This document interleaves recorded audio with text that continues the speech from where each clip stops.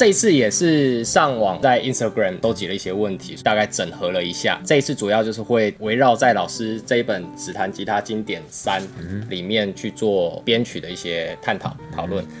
首先想要问一下老师，就是编了这么多，不论是帮人家唱片编曲啦，或者是吉他的，像比如说乐谱上面的改编，嗯老师一定是累积了很大量的经验。我我相信，慢慢的有一些动作，其实会慢慢变成一个流程，一个 SOP。嗯对，那想问一下，就是有没有编曲的习惯？像比如说要改编呃一些自己很喜欢的歌曲的话，嗯大概有什么第一步是比较重要，我们可以先做的？第一个是先选你喜欢的歌，当然这个喜欢的歌你也要确定它是很多人都有听过。如果只是你自己喜欢的话，它难免会很偏嘛。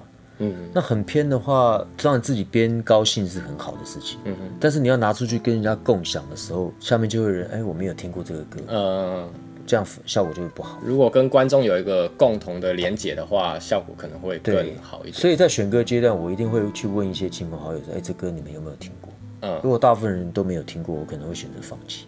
要不然就是自自爽，就不一定会放到书里。简单来讲，就是要够红。嗯嗯，好。再来就是我会用几个不同的调都去弹，大概去弹。所以老师会先选调。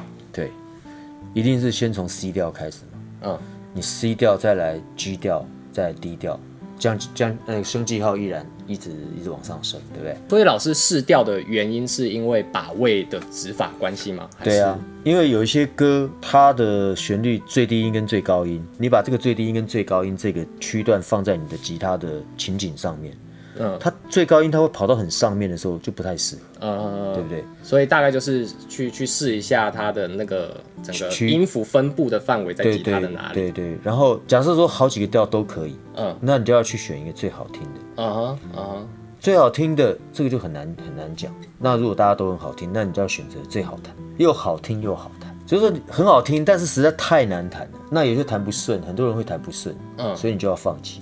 所以老师的取向会偏向要让他简单弹吗？还是简单，嗯越简单越好。因为因为像如果是我我自己以前的做法啦，就跟老师稍微比较不一样，我会先用一个调去弹，就比如说我都用 C 调去弹，对但是我先去试把位，因为我自己个人经验是，我比较不会去考虑好不好弹这件事情，嗯，所以这跟老师有点像是两个极端这样。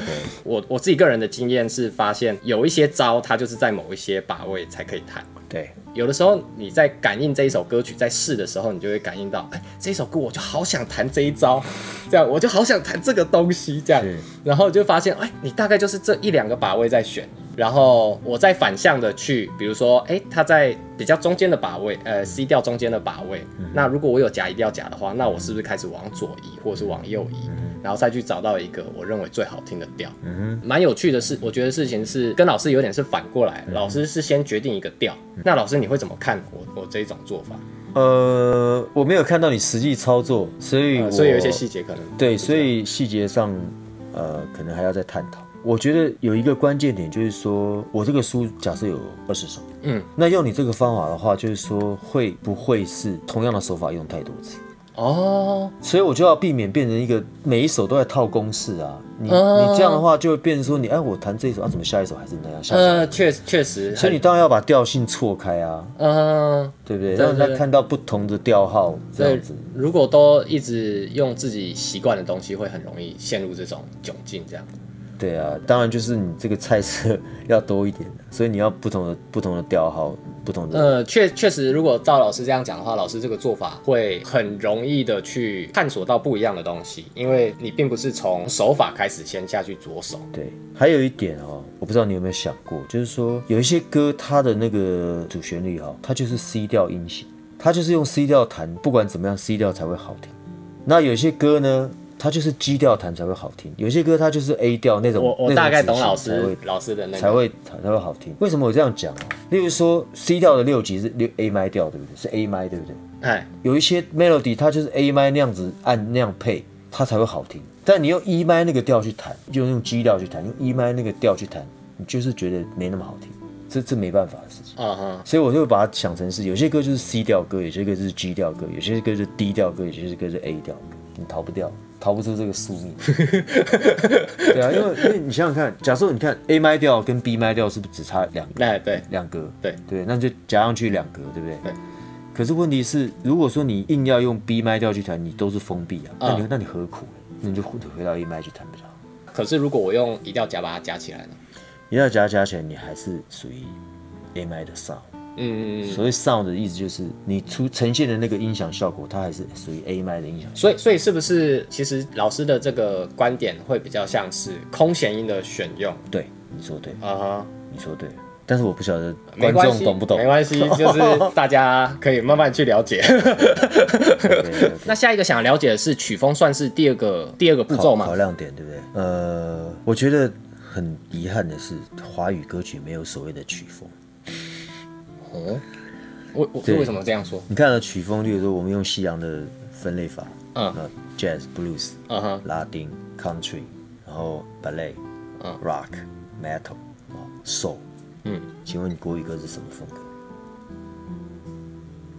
那请问你台语歌又是什么风格？其实老师刚刚讲这一句话，这句话一讲出来，我我瞬间啪这样想到了，其实台湾真的是一个 fusion。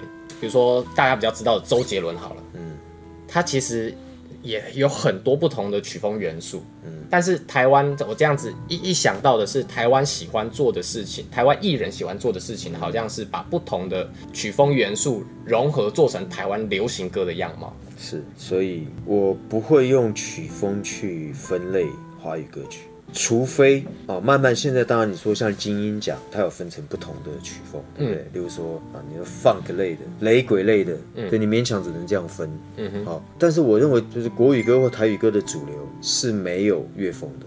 充其量就是四四拍跟四三拍了，不然你还能找到什么？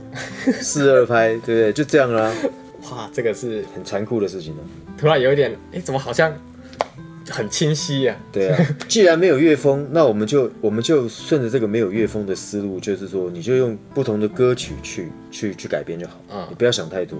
那老师不会想要，比如说特别的去套入什么样子的风格弹奏嘛，把它编成什么样子风格一样貌？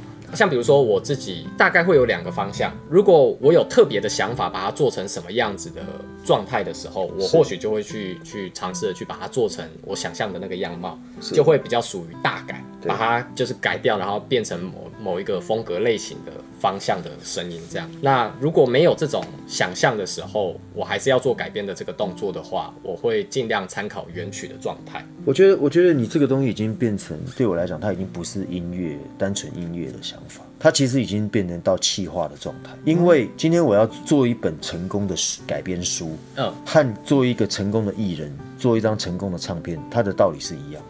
就是我今天改了这个东西，如果说我觉得自己很酷炫，可是大众不会买账的时候，那它是一个成功的改编，但是它是一个失败的商品。那你要做一个成功的改编，然后但是你必须接受它是一个失败的商品的时候，那你那你是要怎么想这个事情？嗯，所以我就会觉得说，我既我既又要一个成功的改编，又要它是一个成功的商品的时候，那你会做什么样的决定？我讲一个很棒的技巧给给大家参考哈。嗯，就是说，其实我们我们都不否认，就是音乐钻进去以后，每个人都会喜欢，都或多或少都会喜欢一点爵士嘛，啊啊啊，对不对？就就感觉他很高声，听到对，好像就哎、你很强，你很厉害这样。和弦你怎么想出来的，对不对？嗯那你可以在原曲之外，你再加一点 jazzy 的 sound，增增加一点爵士和声的和弦，哦，嗯或者那个音响效果，或是过门，就让你这个歌觉得哎有一点高度，这样，嗯，这样就好了。这样也很酷炫，但大家也可以接受。对，如果你是大改的话，这个明明是一台房车，结果你改成跑车哦，这可能就只有玩跑车的人会接受，一般民众是不会接受。啊、就看看不懂的人就会对啊，他说你在干嘛？你怎么把原来的东西完全面目全非了，对不对？这个这个我相信会是 很多音乐人会比较少想到，而且也有部分音乐人会逃避的。对，这种比较气化的，真的是很难在第一步想到的事情。其实其实你知道吗？在做音乐，如果说老一辈哦，我所谓的老一辈是比我更老的那一辈，大家都知道 A N R 对不对？就是怎么去打造这个艺人跟他的这个定位、定位、形象后面的的市场，对，所以说这个东西会跟你的内容是息息相关的。嗯，对，所以不会说你今天内容全部都弄出来以后，我们再把它弄成一个大家可以接受的样子，一定是你前面就要把这个定位全部都想清楚然后再去回头再来看创作是什么东西要纳入，什么东西要排除。所以我们在设计一个商品的时候呢，我们就要考虑到它的销路的对象是谁，你要卖给谁，它的难易度跟它的被接受度是谁，怎么样？所以我再去回头去选歌，然后选歌的时候你又不能编得太离谱。嗯然后大家大部分的人可以接受，嗯那它就是会会是一个成功的商品，但是它不见得是一个高深的商品，嗯或是它在学术界也许没有什么价值，但是我的定位就是要大家可以接受。嗯。像我也是慢慢的就是要做我自己的 EP 的时候，其实老实讲，我一开始真的不知道 N R 这个东西是什么，然后我完全就是很纯音乐人，对。吉他手的想象，我就觉得，嗯、我就弹啊，我就录啊，对。就这样。然后后面开始就是要做这个东西，然后慢慢听到一些哇，好陌生的名词，就开始哇，头好痛哦。很好陌生的名字，像什么？比如说 N R，哦，就是我一开始接触到，我就觉得超陌生的啊、然后开始去查，然后想说是什么，然后又要做这个，又已经要决定做这个商品，才突然的发现说后面有一堆事情你完全不懂，事实上它很重要，然后你要同时着手进行，那个头整个就是胀到不行，这个真的是另外一个很很很重要的一个课题啊，是是是。对。